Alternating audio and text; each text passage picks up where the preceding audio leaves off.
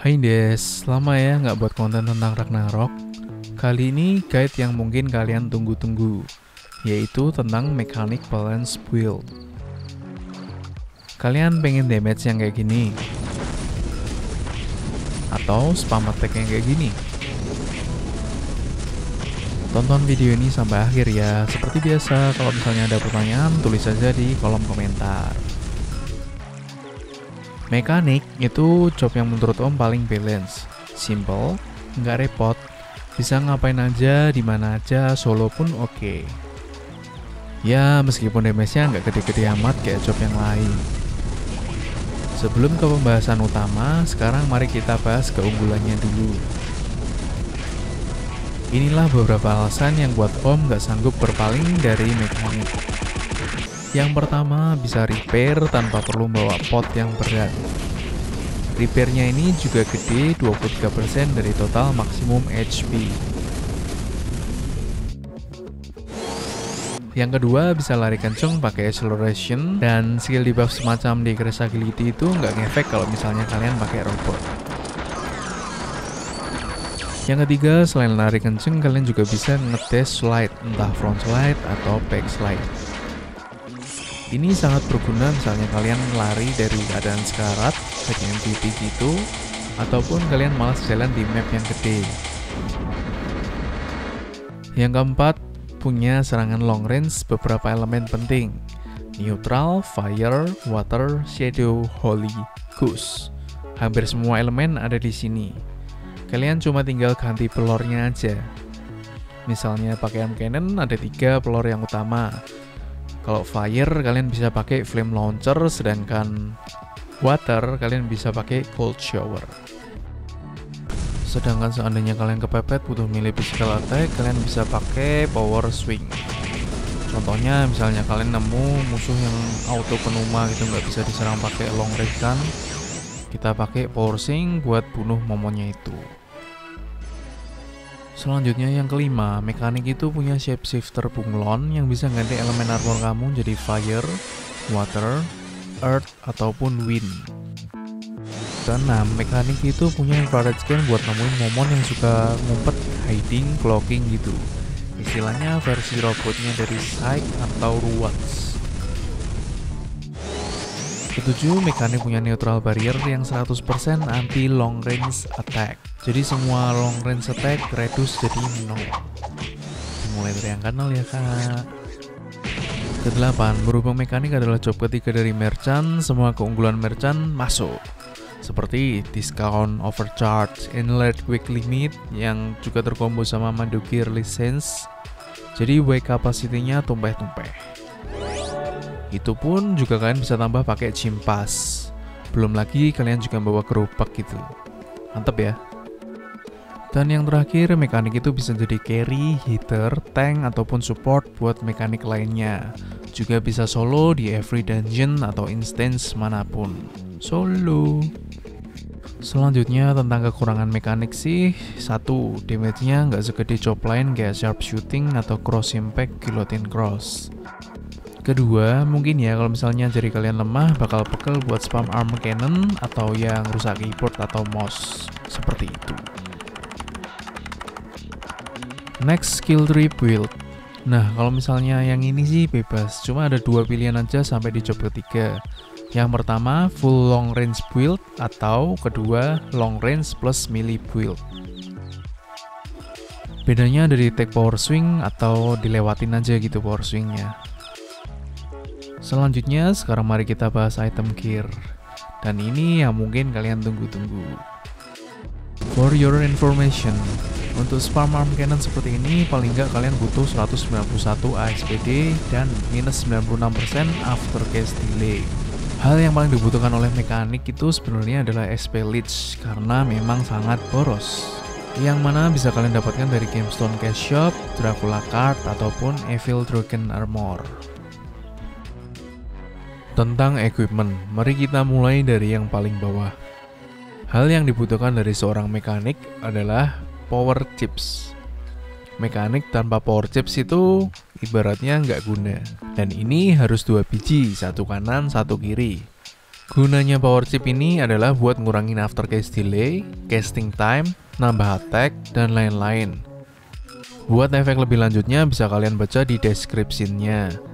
Jangan lupa skill build disesuaikan dengan efek power chip. Sedangkan kartu di dalam power chips ada beberapa pilihan. Kalau kalian mau buat attack full, pakai revolver buffalo set. Atau revolver buffalo plus gigantus card. Ini sih yang paling best. Sedangkan untuk pemula, kalau misalnya mau ngurangin aftercase delay biar bisa spam arm cannon, ada dua pilihan, bisa pakai Dark Face Worm Set atau Chaotic Acolyte Card. Dari bagian paling bawah, mari kita naik sedikit, yaitu di bagian sepatu. Nah, buat bagian sepatu ada dua pilihan yang paling oke. Pertama yaitu Temporal Dex Boot dengan enchant Beer Power plus Expert Archer 4. Kenapa? Karena pertama, buat ngurangin fix cast time jadi kita bisa auto cast. Kedua, damage boost beer power bisa dimunculkan dengan overheat damage. Caranya seperti ini.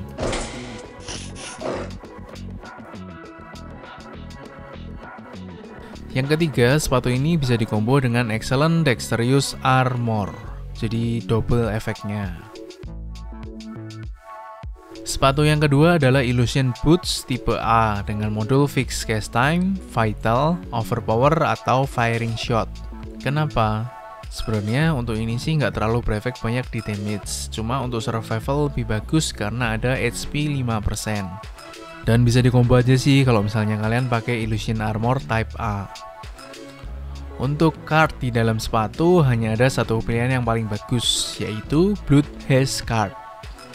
Pilihan lain yang budget bisa ke arah Black Devil card atau kartu yang untuk survival HP-SP gitu seperti Ferit atau Cold Acidus card. Equipment selanjutnya adalah di bagian garment atau mantau. Nah, di sini ada tiga pilihan yang oke tergantung kalian mau build yang mana.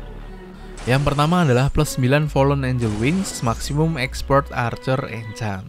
Ini adalah pilihan yang tepat kalau kalian mau build damage tapi dananya terbatas karena murah. Kedua adalah plus 10 Golden Wings Maximum Expert Archer Enchant. Ini adalah pilihan yang tepat kalau misalnya kalian mau build balance antara tank juga damage. Minimal plus 10 buat dapetin efek terbaik dari Golden Wing. Lebih dari plus 10 lebih bagus. Pilihan yang ketiga adalah plus 16 temporal STR mantau. Ini adalah pilihan yang terbaik dari segala mantau yang ada, cuma ya mehong. Selisih damage bisa sampai 220k damage daripada Vow maupun Golden Wings. Nah untuk pilihan daripada Wings cuma ada satu card yang terbaik yaitu Main Blood card Kecuali kalian punya ultra super duper very rare expensive card yaitu Mechanic Howard Selanjutnya kita ke shield. Untuk shield lebih general sih ya, tergantung budget kalian masing-masing. Dari yang paling best ada Purified Knight Shield. Terus Bloody Knight Shield, Cursed Mad Bunny, White Gold Shield, atau yang paling murah Valkyrie Shield. Sedangkan kartunya kalau misalnya kalian pengen full damage build pakai Bijo card. Kalau misalnya seperti Om gini yang ada redusnya biar nggak sakit, pakailah Kalisburg Knight Card. Selanjutnya kita ke arah ke pentungan atau weapon. Untuk masalah weapon sih ada tiga pilihan dari yang paling best. Yang pertama yaitu Meteor Strike dengan enchant yang terbaik. Kedua mahal banget, cuma agak sedikit nggak worth, yaitu Valkyrie Hammer karena 4 slot tapi ya damage-nya sama aja kayak Meteor Strike. Ketiga, paling murah sih untuk beginner pakai pil bunker normal dengan enchant yang bagus juga. Ini yang paling murah pil bunker. Sedangkan kartu di weapon ada tiga pilihan yang bisa kalian kombinasikan. Yang pertama double lockstep card. Yang kedua lockstep plus white knight card. Ini buat kalian yang mau ada redusnya.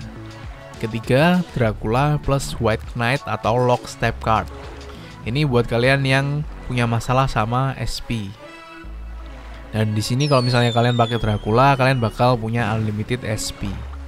Keempat, kalau misalnya kalian mau build selain arm cannon, misalnya flame launcher atau cold shower, kalian bisa pakai white knight card plus cursed wanderer card. Damage-nya lebih bagus.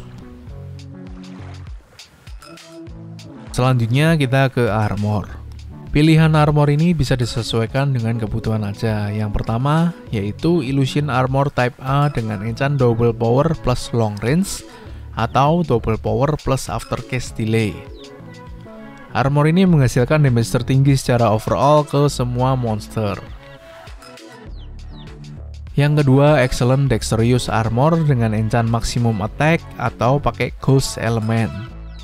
Ghost Element Armor adalah yang mana kita tahu buat ngurangin incoming damage secara lumayan dari neutral attack. Nah, Excellent Dexterous Armor ini paling bagus buat ngadepin monster seperti Demon atau Brute. Damage-nya terbaik. Yang ketiga yaitu plus 10 Evil Dragon Armor. Kalian bakal susah mati kalau misalnya kalian pakai armor ini, karena HP dan SP-nya bakal selalu full. Ingat ya tapi yang terbaik hanya yang plus 10 Kalau misalnya kalian punya yang plus 9 Itu nggak greget sama sekali. Yang keempat Kurset Magic Mail. Armor terbaik zaman dulu Bisa juga dipakai buat Redus Cuma ya sayang aja udah kuno Jarang banget ada orang yang masih pakai armor ini. Tapi tetap masih usable kok. Untuk kartu di dalam armor juga bisa disesuaikan dengan kebutuhan. Kalau misalnya kalian butuh damage, pakai Real Set Amdaris Card. Kalau misalnya kalian butuh untuk survival HP, pakai Taugunka Card.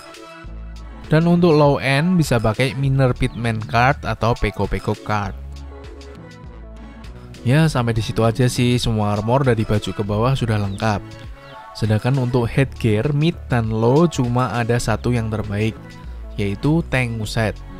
Dan untuk top headgear-nya hanya ada satu topi yang terbaik, yaitu Old River Band Yellow dengan Metal Enchant.